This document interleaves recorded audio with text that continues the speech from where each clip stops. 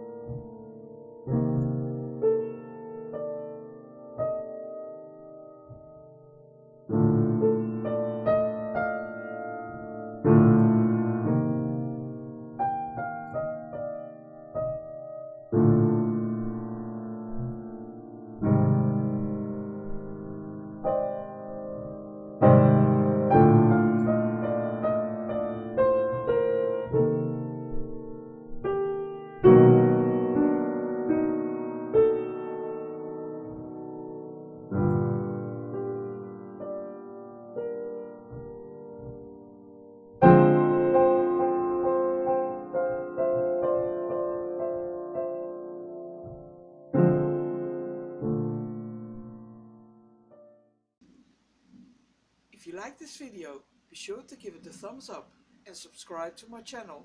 And of course, thank you for watching.